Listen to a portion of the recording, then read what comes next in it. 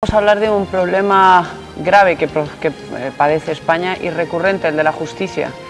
Y lo vamos a hacer con una persona que lo conoce profundamente en una doble vertiente, por haberlo padecido y estarlo padeciendo personalmente y por haber ejercido durante muchos años de juez. Don Javier Gómez de bienvenido. Muchas gracias. ¿Qué le parece? Buenos días. ¿Cómo está usted? Muy bien. ¿Cómo, Además es usted escritor, no, no le he presentado como tal, acaba de publicar hace poco su segundo libro. Sí, esa es una faceta que, que estrené hace un par de años y, y bueno, no, no estoy descontento del todo. No, ¿está más contento de su faceta de escritor que de la de juez? No, yo creo que... ¿O que de su experiencia con la justicia, mejor dicho? No, no, yo me siento muy orgulloso de mis 25 años de, de juez. Lo que pasa que que a mí me parece que las personas debemos estar en condiciones de poder hacer cualquier otra cosa en, momentos diferentes y, distintos. Bien. Antonio Franco, buenos días y enhorabuena. Pues muchas acaba gracias. de recibir usted el premio Luca de Tena. Pues muchas gracias y estoy, estoy muy honrado por la, por la distinción del jurado de la, de la Casa de ABC. Para, para los periodistas a los que nos gusta escribir, pues el reconocimiento de la vamos, de un artículo de la tarea hecha directamente con, con, las, con las yemas de los dedos en la máquina, pues es, es lo mejor que se nos puede hacer. Me, vamos, me, me siento, me siento muy contento de esta distinción. Yo siempre les digo a nuestros telespectadores que el primer café tiene los mejores periodistas, los mejores contertulios de, de todo el panorama nacional. O sea que en prueba de ello, aquí está el director de la agencia de Miguel Ángel Gonzalo.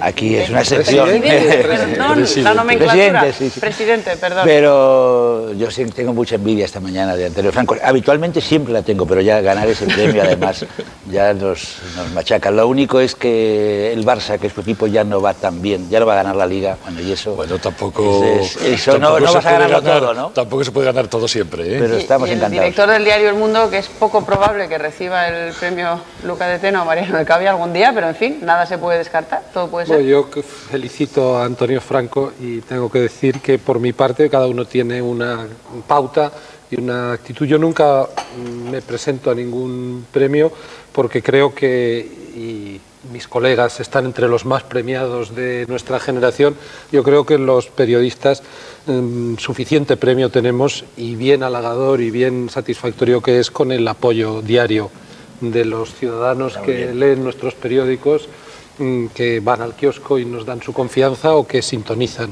eh, nuestros programas. ¿no? Sí, la verdad es que... Yo, perdona Isabel, eh, creo que una de las cosas a los que tienen derecho los ciudadanos cuando un periodista pues interviene en un espacio de opinión y de polémica, pues es saber mm, bueno, de qué pie coge a cada uno o cuál es su posición ante los temas. Y hay veces en que los profesionales de la información, los periodistas, pues no nos sentimos neutrales ante un asunto. Y yo, en vez de hacer hoy la primera pregunta, que la haga cualquiera de mis compañeros, yo quiero decir que yo no soy neutral ante el asunto que hoy nos ocupa, que es el de Javier Gómez de Liaño. Yo creo que es una de las más flagrantes injusticias que se han cometido en estos años. El fiscal Luzón, en su informe favorable al indulto, decía que existe un clamor popular a favor de ese indulto. Creo que lo ha detectado con sensibilidad porque es verdad. Bueno, pues yo quiero por delante sumarme a ese clamor popular y públicamente pedir al Gobierno de la Nación, al presidente José María Aznar, al ministro de Justicia o la ministra de Justicia que esté en el momento en que haya que tomar la decisión, que se indulte al juez Gómez porque creo que nunca mejor utilizada expresión es de justicia. Podemos hacer una cosa, Isabel, que como el juez Gómez es escritor también, le hacemos la entrevista a Pedro. No, no, lo que se, nos ha adelantado Pedro J, como suele ocurrir habitualmente, a explicar que una de las razones por las que hoy está aquí Javier Gómez de es precisamente tratar la cuestión del indulto que tiene solicitado al Gobierno eh, por, eh, por la sentencia condenatoria que pesa sobre él por el caso Sogecable. Hay otros, hablaremos también del caso Lasa y Zabala, que está ahí, que es muy interesante y que está en la actualidad, pero... Eh, ante todo, yo le quería preguntar si tiene usted alguna idea de cómo evoluciona, eh, antes que en el Gobierno, en la sala, en la sala del Supremo, que tiene que pronunciarse a favor o en contra de ese indulto del expediente.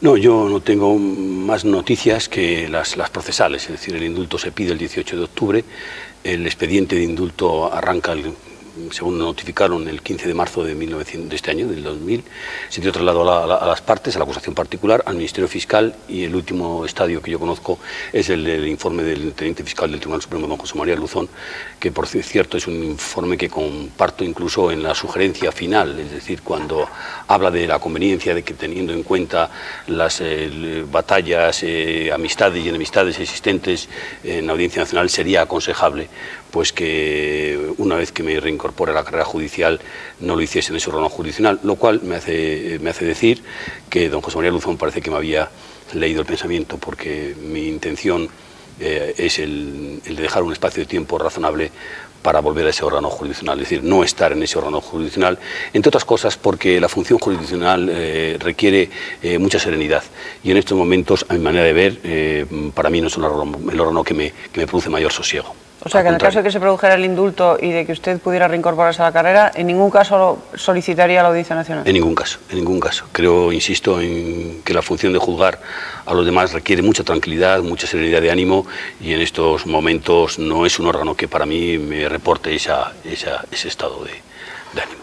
Señor Gómez de Liaño, respecto al tema del indulto y, luego la posibilidad de la, de la rehabilitación y de su regreso a al trabajo como, magistrado, hay con todo una, cuestión que, a mí me parece que es muy importante, que es eh, aclarar un poco si usted volvería a hacer lo mismo en una circunstancia idéntica, eh, si se volvía a producir una cuestión como la, que, como la que tuvo que enfrentarse usted con el asunto Sogecable. Porque a mí me parece que, esa, que esta sería la cuestión un poco nodular respecto a si un juez que ha sido condenado luego puede volver o no a incorporarse en la, digamos, a la tarea, a la tarea de juzgar, que es una tarea eh, importantísima, ¿no? Mire usted, eh, para empezar, yo creo que en mi vida judicial ya no se va a volver a producir un caso sojecable, porque si produjese, tenga la seguridad de que yo más tendría apenas llegase a la mesa de mi despacho. Eso por un lado. ¿Y eso por qué? Porque evidentemente habría una contaminación ya respecto a las asuntos de naturaleza, es decir, que no, no, podría, no podría intervenir. Es decir, me, me, abstendría, como le digo.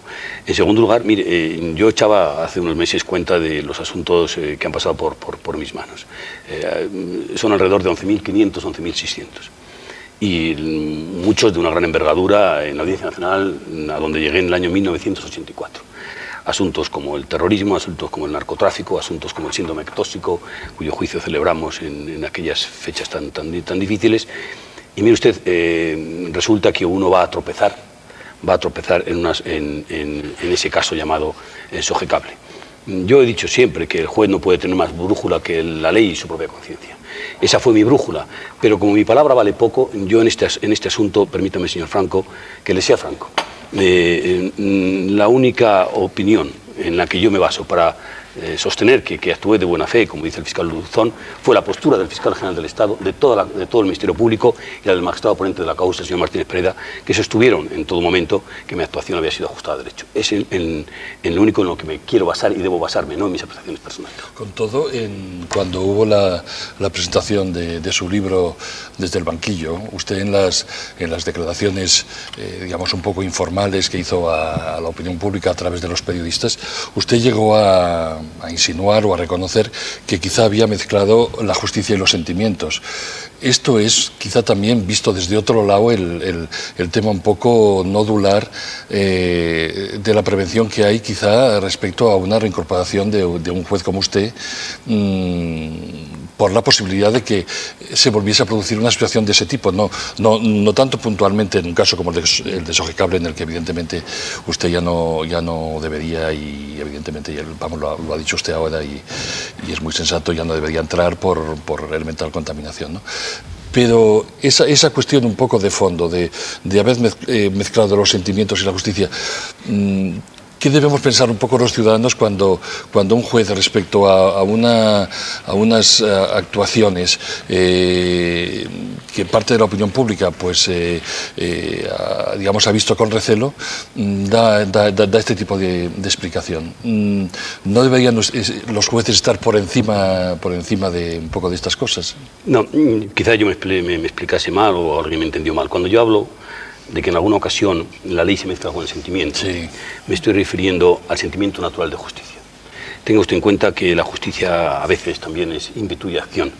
Y como en ocasiones eh, se me ha dicho, y a propósito de casos ojecable, que yo fui un juez empecinado, tengo que decirle que, bueno, depende de lo que se entienda por empecinado, pero que en mi vida profesional, créame, y lo confieso aquí abiertamente, solo en un asunto a lo largo de mi vida me he empecinado, se lo digo de verdad. Y no tengo ningún inconveniente en, en exponerlo aquí porque ya ha pasado el tiempo suficiente para hacerlo. Y fue en el secuestro del señor Ortega Lara. Ahí, junto a la Guardia Civil, las fuerzas de cuerpo del Estado, tenga la seguridad de que me empeciné porque valía la pena empecinarse porque estaba en juego algo muy serio, no solamente la libertad y la vida del señor Ortega Lara, sino principios democráticos muy relevantes. Y cuando me digo que me empeciné, me refiero a algo tan, tan, tan singular como que se trabajó eh, con, verdadero, con verdadera pasión por, por, hallar a la persona del señor Ortega Lara con vida y descubrir a sus culpables. Solo en ese asunto. Pero, si es que yo, perdón, creo que podemos seguir desarrollando esta, este interrogatorio pues en el plano de los lugares comunes. Eh, yo no digo que las preguntas de Antonio Franco tengan ni malicia, ni hipocresía, ni nada, pero yo lo que quiero decir es, primero, mm, un juez no es un autómata, todos los seres humanos incluimos sentimientos en nuestros actos. Y la pregunta siguiente, contrarrestando la tuya, es, eh, ¿usted cree que hubiera existido la menor posibilidad de que a usted le hubiera ocurrido lo que le ha ocurrido si el objeto de investigación en el caso del Sogecable, en lugar de haber sido el ciudadano más poderoso de España, don Jesús Polanco, hubiera sido un hombre corriente, uno de los cualquiera de los millones de justiciables que concurren con sus eh, pendencias o, a quienes se les acusa ante los tribunales, no ha sido determinante del desenlace de su caso la identidad de la persona a la que usted intentaba tratar igual que a los demás? Mire, yo lo que le puedo decir es que mi norma eh, ha sido el de tratar a todo el mundo por igual. Yo creo que la justicia no admite acepción de personas ni distingos. Y como el caso Sojecable, que era un asunto económico y, discutible, como todos los asuntos económicos, por mis manos habían pasado en la Audiencia Nacional pues como mínimo 20 o 25 asuntos de importante cuantía, donde se imputaban conductas próximas a la apropiación indebida entre el dolo civil y el dolo penal. Yo me comporté en ese asunto como había comportado en todo lo demás. Creo que incluso con, un, con una exquisitez procesal mm, para mí difícil de superar. pero perdón, perdón, Isabel, déjame, déjame insistir en este punto. Usted viene de una familia con una tradición mm, de ejercicio de la función jurisdiccional. Su padre eh, fue magistrado y usted lo ha reivindicado muchas veces. A lo largo de las varias generaciones que confluyen en su experiencia, ¿usted conoce algún otro caso de algún juez que por tomar medidas cautelares tan habituales como las que usted tomó en el caso Sogecable, con el apoyo del Ministerio Público, ¿conoce usted a lo largo de 20, de 40 años de historia de la justicia española el caso de algún otro juez al que le haya ocurrido lo que le ha ocurrido a usted? Pues eh, mi memoria me dice que no. No, sí, precisamente lo que yo quería señalar, eh, ahondando en la pregunta que hacía Antonio, es que el Gobierno indultó, y no hace mucho tiempo, a los señores Barrio Nuevo y Vera, eh, sentenciados, declarados culpables de un delito infinitamente más grave como es el secuestro de un ciudadano y los indultó sin que mostraran la menor muestra de arrepentimiento, ni la menor muestra de arrepentimiento, sino más bien todo lo contrario. Después de unas cuantas exhibiciones eh, de compañeros de partido en peregrinación a la cárcel de Guadalajara para testimoniarle su adhesión y en consecuencia su, o por lo menos... no, si uno está convencido de que tiene razón, de que ha sido maltratado, en el indulto no hay cierta frustración. Bueno, verá, yo quisiera mm, aquí distinguir dos cosas. Eh, en primer lugar, mm, se utiliza mucho la frase o la expresión arrepentimiento. No se han arrepentido, no se ha arrepentido a la hora de pedir el indulto. A mí me parece que, sin necesidad de acudir a, a nuestra Real Academia Española hay que distinguir entre lo que es el arrepentimiento y el pesar. El arrepentimiento es una manifestación que una persona hace para disminuir los efectos de un delito y, si procede pues, eh, para que actúe como circunstancia atenuante cualificada o no cualificada. Mientras que el pesar es, una, es un estado de ánimo interior. Eh, yo creo que, en mi caso no es cuestión de que yo eh, diga que he perjudicado, que he hecho daño, que quiero reparar las consecuencias de mi delito. Distinto es lo que la voz de la conciencia en ocasiones te puede enseñar. Habré actuado bien, habré actuado mal, me he equivocado. Bueno, para eso están los recursos, etcétera, etcétera. Eso mm, eh, por una parte. Y en segundo lugar, eh, yo, eh, yo insisto, mm, el fiscal del Tribunal Supremo en todo momento sostuvo en, mi caso que yo había actuado con arreglo a derecho, con arreglo a mi conciencia, que mi actuación fue correcta y un magistrado, mm, el señor Martínez Pereda, insisto, que era el magistrado ponente, desde el primer momento que empezó el asunto sostuvo, sostuvo que, que, mi actuación era, era ajustada a derecho. Eso es con lo que me quedo, no puedo quedarme con otra cosa. Y desde luego lo que sí le puedo decir, como apuntaba la señora San Sebastián, es que yo no conozco ningún un caso de un juez que, a quien se revocan sus resoluciones y que después el paso siguiente es condenarle por prevaricación. Antonio, eh, yo respecto a la pregunta que hacía Pedro J sobre la, entre comillas, la, osadía de, de, encausar o de, procesar a, a, una personalidad importante. Yo no he hablado de osadía.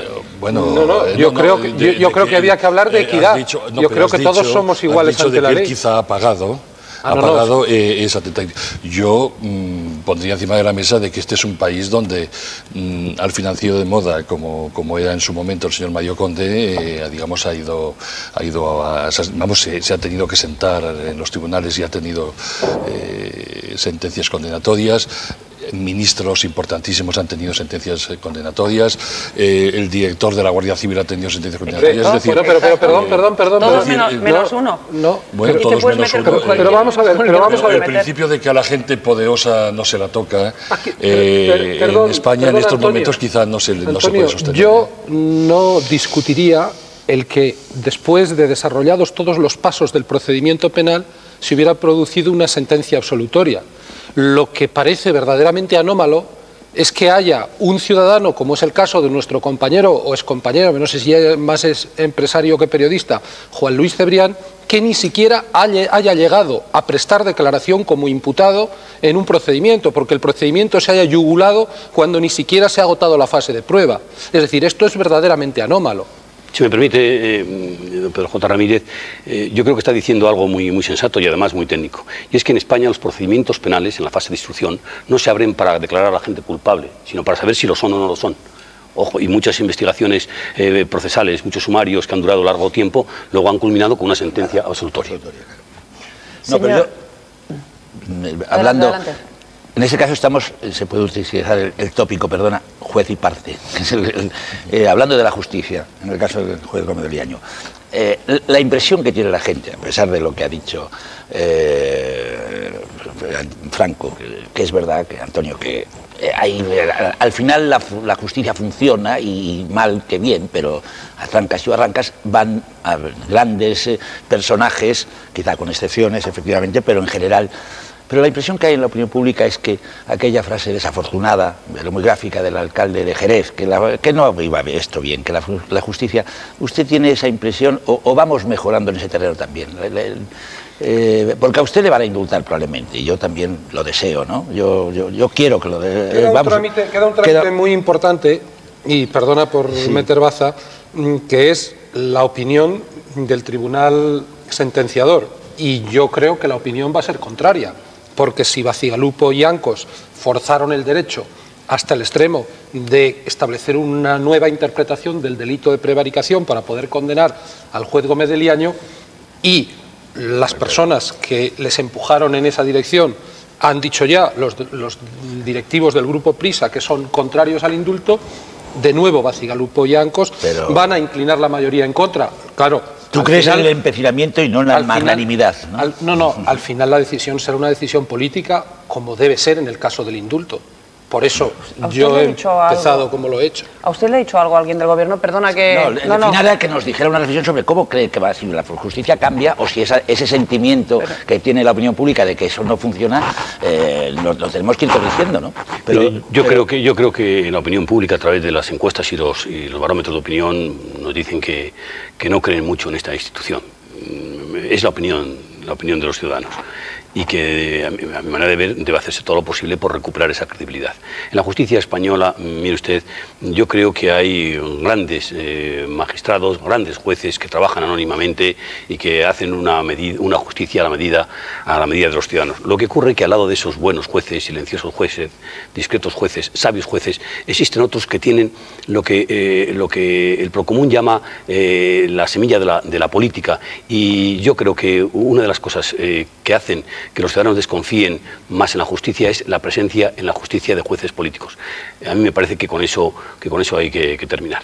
Respecto a lo que me preguntaba la señora San Sebastián, o apuntaba a preguntarme de qué pienso yo que va a pasar con mi indulto, mira, mi postura es la de no decir nada porque es algo que corresponde al Consejo Yo le preguntaba exactamente si alguien del Gobierno o del entorno del Gobierno del Partido Popular, que es el que gobierna, se había puesto en contacto con usted, le había dicho algo, le había transmitido algo, le había... No, no, no, en absoluto. Yo las únicas noticias que tengo eh, son las del señor Almunia, que incluso antes de, que el indulto se pusiese en marcha, pues, calificó, dijo que no procedía ese indulto porque yo era un peligro para la justicia. No tengo más aquella opinión, créame, que me pareció mm, prematura, precipitada, incluso imprudente. Y, además creo que incluso se dijo que se ganaba las elecciones eh, de ninguna manera. Es tan, evidente, tan evidente la conexidad, y perdón por ser hoy tan apasionado y tan beligerante. Es decir, ¿Qué es eso de conexidad? Bueno, eh, sí, la conexidad, yo creo que es una palabra. vamos a ver si está en el en, conexión. Bien, la conexión, la interrelación entre la posición del señor Almunia, la posición del grupo Prisa y la, y la posición de los magistrados Bacigalupo y Ancos. Es decir, es se sabe, es un lugar común que el Grupo PRISA ha estado apoyando activamente y es legítimo y es parte de la libertad de expresión. Otros dirán que otros medios estamos en otras posiciones mm, desde el punto de vista político, desde el punto de vista del posicionamiento en el debate, mm, pero es tan conocido que el Grupo PRISA ha apoyado al Partido Socialista y que los magistrados Bacigalupo y Ancos llegaron al Tribunal Supremo como consecuencia de los votos de los vocales en el Consejo del Poder Judicial del Partido Socialista. El mal está en la raíz y yo supongo que el juez Gomedeliaño será partidario de reformar el procedimiento de elección de los vocales. Este es un tema que está ahora mismo en el, en el debate y en la actualidad. ¿no? No sé, no sé si es una pregunta o es una afirmación. hay unos puntos suspensivos, ah, digo, supongo. supongo que estará, entonces no sé. Bueno, eh, vaya por delante que el término conexividad es un término correcto, incluso procesalmente correcto. Está contemplado, está contemplado en dos leyes procesales muy importantes. Eh, en, respecto a, qué pienso yo eh, sobre el Consejo General de Poder Judicial y su composición, verán ustedes, en el año 85 se produjo la reforma que dio lugar a que todos los vocales fuesen elegidos por, las cámaras, por el Parlamento, 12 por, 10 por el Congreso y 10 por el Senado, modificando la, ley originaria que establecía en lectura literal de la Constitución que 12 fuesen elegidos por jueces y magistrados de todas las categorías. Yo creo, una vez más, que esto es una cuestión de creer en las personas más que en, las ideas. En su momento, a mí me pareció que la reforma podía ser eh, importante en cuanto que era una designación que emanaba de la soberanía popular y la justicia emana de la soberanía popular. Sin embargo, por la experiencia, y digo experiencia porque fui vocal del Consejo General del Poder Judicial entre el año 90 y 96, es mm, que el resultado es malo. Y es malo porque personas que han ido al Consejo General del Poder Judicial mm, designadas por el Parlamento eh, han tenido una vocación, una mayor vocación de hacer servicios que de hacer, que de hacer justicia. Yo eh, en estos momentos me inclino porque se modifique el sistema y se vuelva al sistema originario, pero con una salvedad, o con un par de salvedades. En primer lugar, que la elección de los 12 eh, vocales de procedencia judicial no sea eh, patrimonio exclusivo de las asociaciones judiciales, por las cuales eh, tengo mi, respeto y mi consideración, por unas evidentemente más que, por otras, y, que en todo caso todos los jueces y magistrados participen en listas abiertas a esa, a esa nominación o a esa candidatura. Y también me, parece, me parecería importante que aquel juez o magistrado que aspirase a ser vocal del Consejo General del Poder Judicial diese un paso al frente y antes en la Comisión de Justicia, por ejemplo, de Interior, en el Congreso de los Diputados, expusiese su programa ante los, parlamentarios sobre qué piensa sobre la justicia, sobre los múltiples aspectos y las muchas facetas de la justicia para que luego se hiciese cada uno su composición. Antes, cuando hablaba usted de, perdona Miguel Ángel, cuando hablaba usted de la presencia de jueces políticos en la justicia, yo creo que otra de las cosas que deteriora enormemente la credibilidad de, los, de la justicia ante los ciudadanos es la presencia de jueces cobardes en puestos importantes. Y me estoy refiriendo al juez ese del País Vasco que ha dejado en la calle a un, a un eh, vándalo callejero al que le ha estallado un petardo en las manos porque según él ese delito no provoca alarma social, la cale borroca, ¿no? El incendiar coches y casas y tal no es un delito recurrente en el País Vasco cuando este año van ya cientos de, de atentados y además no provoca alarma social. No, y cuando se produjo una noche que había habido... Sí, perdón, yo no he leído, yo no he leído yo la resolución. Aquí voy a cometer probablemente una injuria directamente o, voy a- o una calumnia, pero a mí este me parece un cobarde. El señor que ha hecho eso me parece un cobarde. No hay otra justificación para lo que ha hecho que el miedo puro y duro, la cobardía. Yo, Claro, eh, si el uno está en el auto, País eh, Vasco tiene que ser valiente y si no largarse de allí, ¿no? El auto eh, al que se refiere del juez de instrucción número uno de los de Vitoria, poniendo en libertad a esta persona que se le llevó un dedo, Sí, sí, un- sí, unos dedos de la mano al colocar un artefacto explosivo, no lo he leído más que por medio de comunicación. Y de nuevo eh, se acude a un, a un elemento, a un recurso que a mí nunca me gustó, que fue la de la alarma social. Me parece que fue un, un- término que se acuñó indebidamente y que a veces la alarma social no se corresponde con lo que es eh, finamente la alarma social, a veces es preocupación social, otras veces inquietud y otras también excitación social. Mire, yo mm, en estos momentos en lo que me fijo es que el Ministerio Fiscal, el único órgano imparcial del procedimiento, ha recorrido esa resolución ante la Audiencia Provincial de Vitoria. Y ahí tenemos que quedarnos. Pero mm, quizá el, el aventurarnos en llamar eh, cobarde eh, o, u osado a un juez eh, sin más mm, sea algo, algo, algo precipitado. Se lo digo, se lo digo sinceramente. Sí.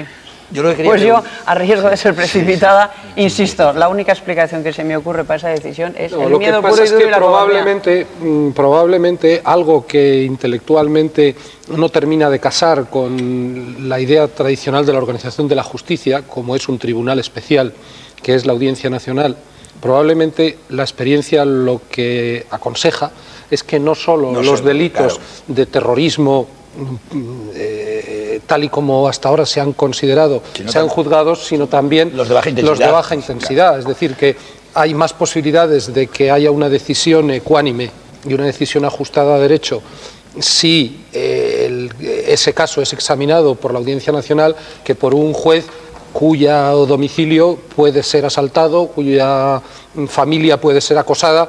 Mm, Yo estoy abundando, es decir, sin entrar en la calificación moral, estoy abundando un poco en lo que tú dices, o sea, es una- un auto que sorprende en la medida en que va contra la percepción y el sentido Sí, común. aún así, aún así, permítame, mm, a mí me ha sorprendido de esa resolución eh, simplemente eh, la competencia del juez. Digo esto por lo siguiente, y es que yo ya llevo un par de años fuera de, de de la Audiencia Nacional, pero recuerdo que tanto la Fiscalía de la Audiencia Nacional, el señor Fungariño, como algunos jueces y magistrados pensábamos que la violencia callejera, la llamada cala de Borroca, por lo que tenía de, de componente terrorista, era competencia de los juzgados centrales de por su instrucción. conexidad con Claro. la- Conexidad. Sí, por su relación con, por su relación con ese. con ese Me voy a mandar a la Pero academia. La, cuestión de fondo eh, eh, es independiente de que, se, de que esto se produzca en un juzgado de Vitoria o en la Audiencia Nacional. La- la- el argumento de fondo de Isabel eh, es real, es decir, eh, tenemos derecho a exigir que los jueces sean serios, que los jueces sean valientes, que los jueces, eh, digamos, mm, no se dejen presionar por, por pero- circunstancias de ese tipo y, y si no, que dejen de ser jueces. Claro, eh, o que dejen de ser jueces en el País Vasco, porque- que se vayan a ejercer a cualquier otra región donde no haya Pero problema, ¿no? eh, la sensación que tenemos un poco los ciudadanos eh, de que en el, en, el, en el gran problema un poco colectivo que tenemos con Euskadi es de que mm, hay responsabilidad de, de políticos que no están a la altura y tenemos hoy mismo este empecinamiento por intentar eh, el gobierno vasco seguir con la- manteniendo las riendas a pesar de a pesar de que, de que es evidente de que su voluntad de seguir ¿Lo has visto en la mm, televisión, en las imágenes de ese va a impedir una Parlamento donde no hay- va a impedir una, una normalidad política. Eh, mm, vamos, un- un- un- una vida cotidiana normal de, de la vida parlamentaria allá en Euskadi. Pero no solo los políticos, sino que, que la policía no está teniendo eh, la, la chancha, no está teniendo, mm, digamos, el valor, el coraje o la decisión que necesita, los jueces no.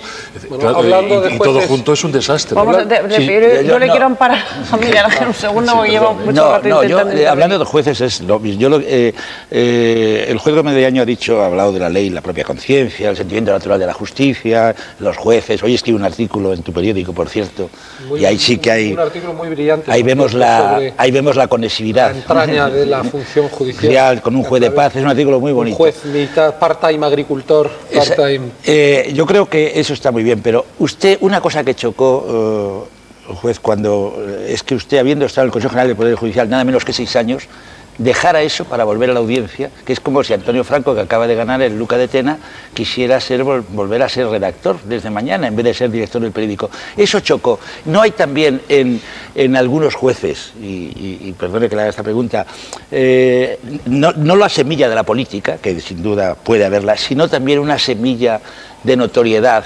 eh, eso que llamaban los jueces Tellas, que también ha ha perjudicado al sentimiento que se tiene sobre la justicia? Se lo voy a explicar eh, mm, con la mayor brevedad que mm, pueda. Eh, cuando yo volví, cuando yo volví a la Audiencia Nacional es porque tenía mi plaza reservada, como otros magistrados volvieron al Tribunal Supremo o otros órganos porque tenían su plaza reservada, porque yo procedía de la Audiencia Nacional. Eso por una parte. Respecto a... Pero era más importante lo que hacía usted antes que, la, No, yo estaba en la Audiencia Nacional, me llamaron para ir al Consejo, fui al Consejo y al expirar mi mandato volví a la Audiencia Nacional, que era mi, mi órgano jurisdiccional. Había entendido que en lugar de irme a la sala me fui a un juzgado central de instrucción y lo he explicado varias veces porque precisamente en mi sala, en mi sala estaba llevándose el asunto Banesto y quería alejarme incluso físicamente de ese, de ese asunto. Eh, eso por un lado. Eh, por otra parte, tiene usted razón cuando habla de que, o insinúa que la Audiencia Nacional hoy por hoy es un, es un órgano donde no se puede trabajar con verdadera discreción, sino más bien haciendo una justicia de plato y sobre todo teniendo en cuenta que hay algunos eh, jueces que, como decía el otro día un ilustre colega suyo, pues alimentan de fotosíntesis, ¿verdad? Eso por, una parte. Respecto ¿Por qué a... empieza? No, pues no, no, yo creo que necesario precisar, ¿verdad? Eh, mm, también quería decirle, eh, y aprovecho la ocasión, mm, respecto a los jueces del País Vasco, que en esa comunidad autónoma hay jueces que se han batido muy bien el cobre, que trabajan, trabajan muy bien, en condiciones muy difíciles, empezando por las lingüísticas, y vaya desde aquí mi reconocimiento y, y, homenaje. Oye, el nuestro también, ¿eh? que conste, yo me estoy refiriendo a uno en concreto, pero la inmensa mayoría de los jueces del País Vasco, como del resto del el colectivo que está ahí dando la batalla es absolutamente admirable, sin duda. Pues yo me sumo a su apreciación.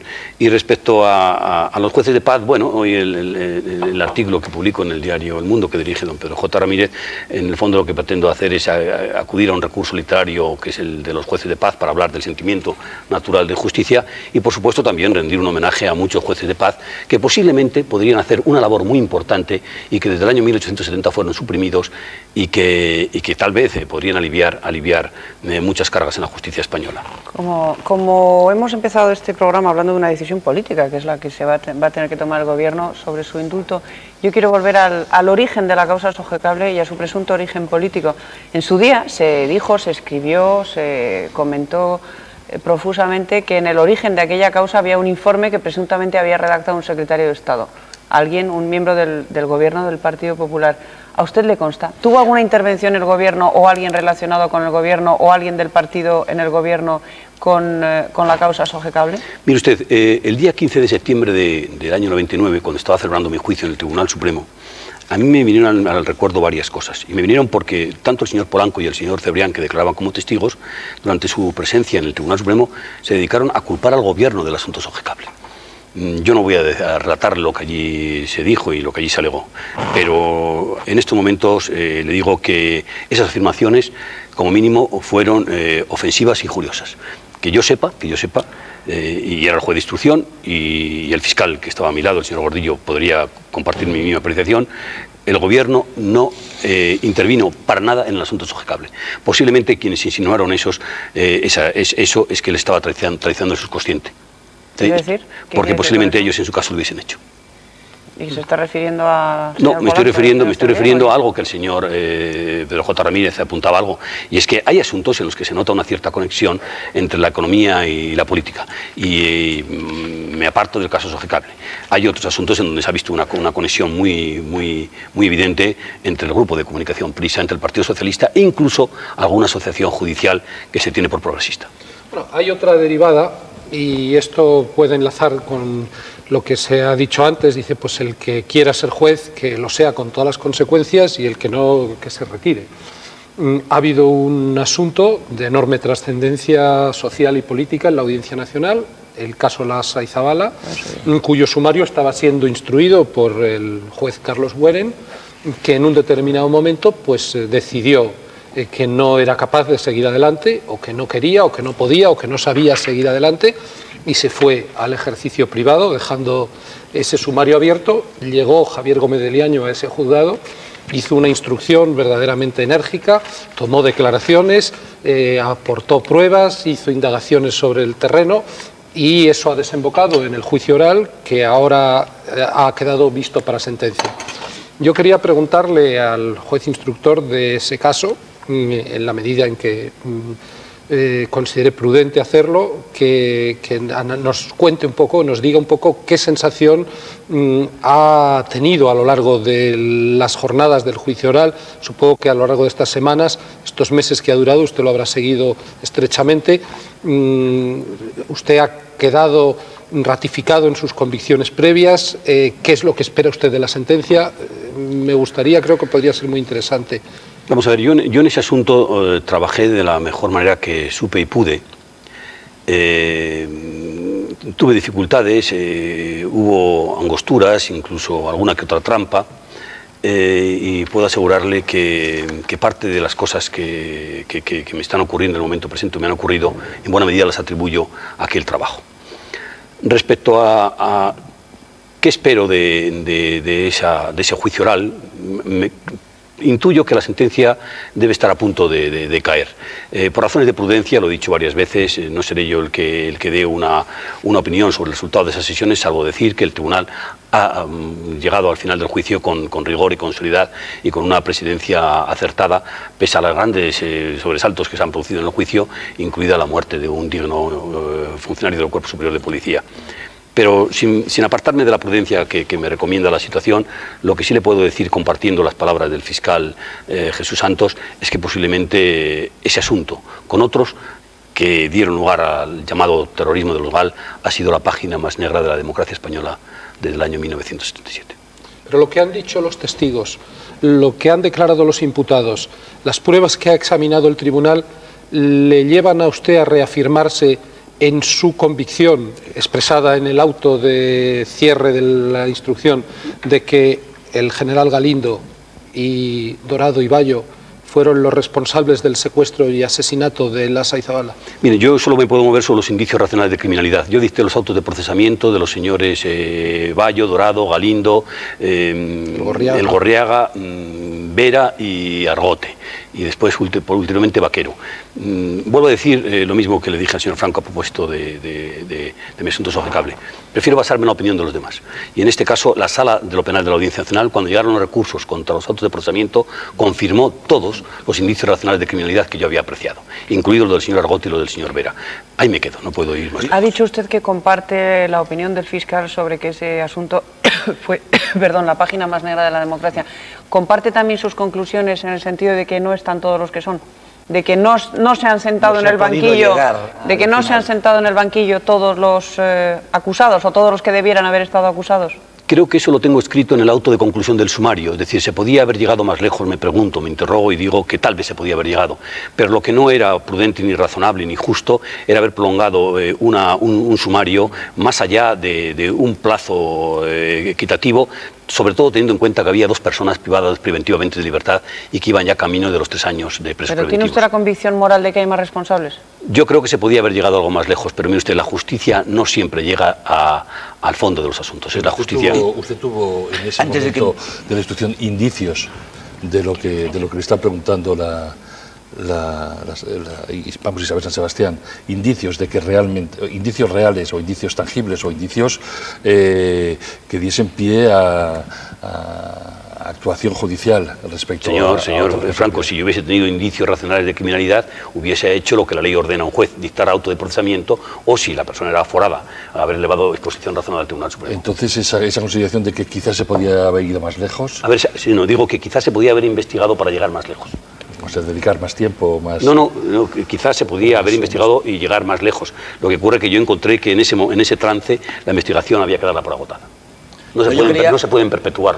Pero Quería ¿qué caso preguntar una cosa de actualidad de hoy. No será usted el Atlético de Madrid, Entonces- supongo. ¿eh? Porque No, no tengo equipo de No, fútbol. Bueno, es que eh, hoy nos, otro tema que ha desconcertado la opinión pública. El juez García Castellón interviene ese club, que es un pequeño desastre deportivo, y eh, unos, unas semanas después o unos meses después decide que esa intervención ya y devuelve el club a la, a, a la familia Gil. ¿no? Tiene usted la gestión. la gestión, pero, Gestión pero no pero- crea, pero no crea eso también en la opinión pública. Yo no sé si alarma social, pero alarma deportiva, ¿no? Y dice, bueno, ¿qué pasa aquí? Entonces, ¿qué, ¿cómo es posible que, que sucedan esas cosas? ¿Tiene usted Pasar una opinión sobre ese asunto? al Atleti de Madrid, ¿verdad? Bueno, son asuntos, de, es el asunto del día, es- no pasa nada. Es una cuestión de justicia, porque también allí eh, Claro. eh, está encerrado eh, eh, en, de- en qué grado se puede separar la gestión deportiva de la gestión, mm, eh, vamos, económica de una entidad de ese tipo, ¿no? Yo voy a prescindir de los matices deportivos, porque además entiendo muy poco de, de fútbol. Pero mm, le voy a dar mi, mi- mi opinión. Mm, Naturalmente, el que hoy aparezca este asunto no es nada novedoso. Yo creo que España lleva años su yúdice, ¿no? Y, hay mm, páginas y páginas todos los días de asuntos judiciales, lo cual me parece muy bien, porque así la gente se va, se va informando.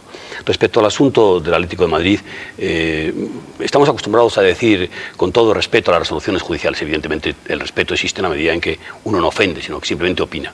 Mi opinión, mi opinión eh, sobre eh, la aplicación de esa figura del interventor judicial, jurídicamente hablando, es eh, que no era muy ajustada a derecho. Yo creo que el decreto de intervención del año 1969 no ha tenido en España aplicación más que para dos asuntos. Uno, cuando se crea o cuando se, se dicta, que es en el asunto Matesa, y después yo creo recordar que en la Audiencia Nacional, a propósito de un asunto de narcotráfico que afectaba al señor Ubiña y que dio lugar a la intervención del Pazo Bayón, creo que es así. Eh, Entre otras cosas porque yo fui uno de los jueces que apliqué ese decreto precisamente para ese asunto. Yo creo que había fórmulas alternativas a esa intervención judicial, sobre todo porque volver o dar marcha atrás eh, desconcierta al personal, ¿verdad?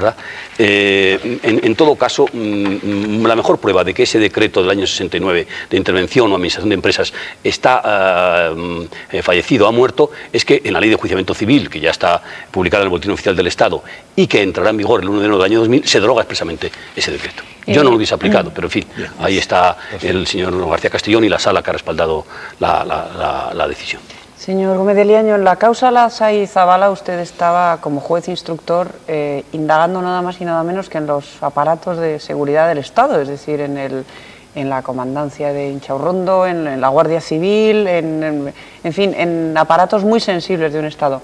En el caso Sogecable estaba usted investigando un presunto delito económico. Yo le quería preguntar, ¿en cuál de los dos casos tuvo usted más dificultades para la investigación? Evidentemente uno le ha salido mucho más caro que el otro porque por uno le han in- inhabilitado a usted nada más y nada menos que A 15 lo mejor años. es que eran vasos Pero- comunicantes, Isabel. Eso lo dice lo usted, mejor yo ya bastante digo- hecho con digo- el juego del País digo Vasco. a lo mejor. Por hoy ya, por Mire. hoy yo ya he metido la pata a lo mejor bastante. eran vasos comunicantes. Dificultad de Pero- trabajo yo creo que tuve en ambos prácticamente la misma. Quizá mm, por razones de tiempo menos en Sogecable porque yo duré en ese procedimiento tres meses. Me recusaron y me, me- me- me sacaron de, de ese, de ese asunto pues el 7 de julio de 1997. Vaya San Es-. Sí, sí, efectivamente fue el señor Cebrián que- quien al parecer quiso celebrarlo de esa manera. Eso eh, por una parte. Eso en cuanto a dificultades. En cuanto a, mm, a mantener el tipo, desde luego puedo asegurarle que fue mucho más complicado en el asunto Sogecable. Yo no he visto, salvo en el caso del señor Marino Barbero, insultar a un juez y a su entorno familiar como a mí se me ha insultado desde el grupo de comunicación Prisa. No tengo ningún resentimiento ni ningún, ni ningún eh, pesar, simplemente digo que quienes insultaron y lo hicieron de esa manera, algún día alguien, eh, incluida la misericordia, podrá perdonarlos, estoy convencido. Pero bueno, yo me quejé en su momento al Consejo General del Poder Judicial y todo lo que recibí eh, cuando avisé que se me estaba ofendiendo, insultando y presionando de una manera brutal, se me contestó con un ligero acuse de recibo. En el caso de la Zabala, que usted ha hecho una, eh, magnífica introducción, eh, quede bien claro que yo no investigué eh, a todos los aparatos del Estado, investigué conducta muy concreta. Y debo de decir, una vez más, que el caso La Saizabala o el sumario La Saizabala no fue un sumario de la Guardia Civil, ojo, sino el reconocimiento, por una parte, del gran prestigio de ese cuerpo, que con el- por otra parte trabajé en la Audiencia Nacional codo con codo en asuntos muy delicados, y en segundo lugar, el intentar averiguar y esclarecer con todas sus circunstancias eh, la desaparición, mm, torturas y muertes de dos eh, chicos presuntos miembros de la organización terrorista. Entonces tuvo usted más presiones en el caso Sojecable que en el Lasa Izabala. Si usted me está preguntando por el sufrimiento, puedo asegurarle que en el caso eh, bueno, por la presión que usted No, no, no, Sojecable con diferencia. Yo creo que el asunto Sojecable no tiene parangonia y quedará para la historia. Léanse, si no, las editorial, los, los editoriales del diario El País, óiganse la cadena SER eh, en su programa nocturno, eh, véase, si se quiere, eh, Canal Plus y compruébese cómo barrieron vidas privadas, familiares, insultaron por las cuatro esquinas. Pero en fin, yo no, yo no guardo ningún tipo de rencor, sino simplemente lo que estoy verdaderamente asombrado. Otro de los casos que se han resuelto estos días, que se han juzgado estos días, es el caso Banesto. Y una de las cosas que se pregunta a la gente, empezando por mí misma, es si los eh, condenados, porque ya son condenados, no es sentencia firme, pero ya están condenados, devolverán algún dinero o no si irán a la cárcel o no, es decir, si una vez más... Pues no lo sé, yo de ese asunto como, como, como, como comprenderá y posiblemente sepa, tomé una, una larga distancia apenas, eh, apenas iniciarse. Pero sí sería eh, importante que quienes son condenados por, por, por haberse apropiado eh, de, bienes... públicos o bienes privados. Es la segunda vez que se refiere a ello y quizás los espectadores deben saber que uno de los hermanos del juez Gómez de Liaño estaba entre los procesados, que por cierto ha sido, absuelto en el caso Banesto.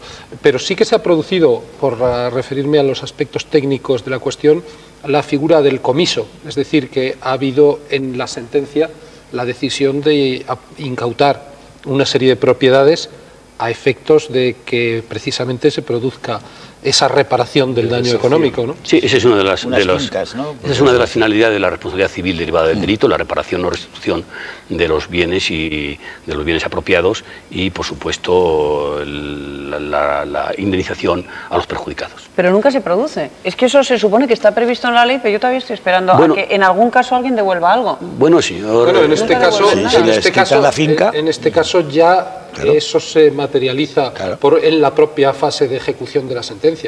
Bien, bien. ¿Irán a la cárcel? ¿A pesar de las fianzas o no? No lo sé, no lo sé. Yo es algo que no, conozco. pendientes de que la sentencia sea firme y, el, y, habrá la cuestión de si se acumula o no se acumula, de si hay una refundición entre esta sentencia y la del caso Argentia. Bueno, le voy a, le voy a transmitir, eh, más que preguntas son eh, opiniones de los telespectadores. Gana usted, ¿eh? Hay alguna en contra, pero la mayoría son a favor. Se las leo. A ver.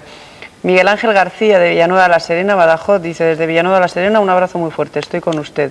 Sí, fui juez, de, fui juez de Villanueva de la Serena ah, en, los años, en los años pues a, este, a, este, le debió usted dar la razón. Pero no, no, no, no, no, no, no caigo, eso no, no caigo, pero estoy muy agradecido. En casa, en casa. Señor San Sebastián, vaya por delante mm, que yo estoy agradecido a los oyentes, tanto los que me, los que llaman para, para para estar a mi lado, para criticarme, pero sobre todo estoy agradecido a quienes me han apoyado de muy diversas formas en momentos tan difíciles. No en vano, el señor fiscal general del Estado hablaba de ese clamor, que no es otra cosa que, que el, resumen de, de multitud de gestos a través de telegramas y cartas que se han puesto un poco al lado de mi causa. Añade este telespectador, ¿cuándo vamos a poder creer los ciudadanos en la no contaminación de la propia justicia? Cuando se destierra la política de la, de la mente de algunos jueces estoy convencido de que, tenemos una, justicia muy sana y muy saludable. María Dolores Loarte de Toledo dice, le felicito, hay mucha gente en España que está con usted. Me parece que su actuación fue impecable. Lo que ha sucedido es que ha, habido una persecución contra su persona. Se lo agradezco de todo corazón. Eh, Javier Pollatos de Gandía, Valencia. ¿La ley es igual para todos? La ley sí. Lo que quizá pueda cuestionarse es si hoy por hoy hay algunas excepciones de la igualdad de todos los hombres ante los tribunales de justicia. Carmen Sauco de Arganda del Rey, Madrid, dice, no estoy conforme con la palabra indulto, porque lo que hay que hacer en el caso de Javier Gómez de Leaño es rehabilitarle. No tienen que perdonarle nada, tienen que reconocer que lo que han hecho con usted es una cochinada, dice. Bueno, quizá tenga en algunas eh, fases de, su, de sus manifestaciones parte de razón. Eh, Gloria Los Santos de San Adrián Navarra, en cambio, opina, en mi opinión, usted es culpable y presiento que aún así le indultarán. No lo sé, es, una, es, un, es un juicio que respeto como los demás. Eh, Fernando García de Leganés, Madrid, dice, no creo en la justicia. ¿Cómo es posible que sabiendo que usted es culpable se le dé el tratamiento de presunto culpable? Hombre, presunto no, ya. más de lo que le han hecho, le han inhabilitado 15 años. No sé qué más quiere usted que le hagan. Es como el chiste aquel, ¿no? Como no me embaracen, más. ¿Por qué los jueces obligan a una persona, a una mujer en este caso, maltratada por su marido, a que siga conviviendo con él? Hombre, esa es una buena pregunta. Yo creo que si eso es así, es un error. Yo creo que cuando un matrimonio o una relación afectiva se ha roto, lo mejor es poner tierra por medio. Sí, hay que esperar a que en los malos tratos a que haya sangre, evidentemente no. Por eso digo que hay que poner en cuanto se nota la primera fisura, la primera quiebra de ese afecto, hay que poner tierra por medio. Fernando Álvarez de Madrid, le admiro profesional y personalmente. Pido que le concedan el indulto. Muchas gracias don Fernando. Otro más. José López de Madrid, siento mucho el atropello que ha tenido profesionalmente. Usted dijo en una ocasión que en los juzgados debería haber una hoja de reclamaciones. Esto es una prueba de su integridad y de su forma de trabajar. Sí, estoy convencido y creo que además eh, el Consejo General del Poder Judicial lo aprobó. ¿no? Lo que no sé si, si se rellenan bien esas, esas hojas todas estas preguntas yo creo que están siendo reflejo mm, casi en, su unanimidad de lo que decíamos y de lo que recogía el fiscal. Además, yo tengo la sensación, no sé si es porque en este caso pues mi propia opinión coincide apasionadamente en esa dirección, de que la causa de Javier Gómez de Liaño va creciendo con el paso de las semanas, con el paso de los meses, que la gente se va dando cuenta de la desproporción total eh, que ha existido entre su conducta y el castigo que está recibiendo, porque además, si no me equivoco, a usted le han dejado en, la calle, absolutamente. usted no está recibiendo ahora ni una peseta. Por no tener, señor eh, Pedro J. Ramírez, no tengo ni seguridad social. Lo que pasa que, bueno, mi mujer me metió en su cartilla y ahí me defiendo. Y no tengo mala salud. Y además escribe libros.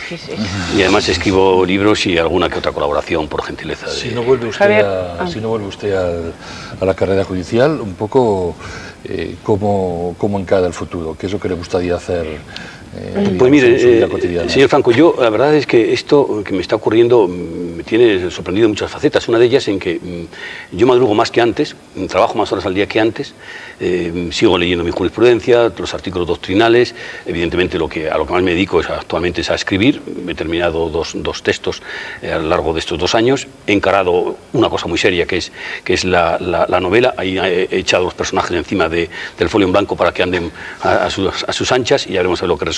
He ahí una nueva razón para que le indulten a usted. No vaya a ser que perdamos un gran juez y ganemos, un mal novelista. no vaya a ocurrirnos eso. Quizá, tenga razón. no quiero que se me pase el tiempo sin plantearle esta pregunta de un telespectador de Gandía, Javier Boiges, que es que me parece muy interesante. Dice, me manifiesto a favor del indulto para usted por su gran labor como juez y le pregunta, en el caso de que vuelva a la carrera judicial como juez, ¿volvería a mostrar equidad en la justicia entre los poderosos y el resto de la sociedad? Ah, es una espléndida pregunta, pero creo que lo he contestado al comienzo.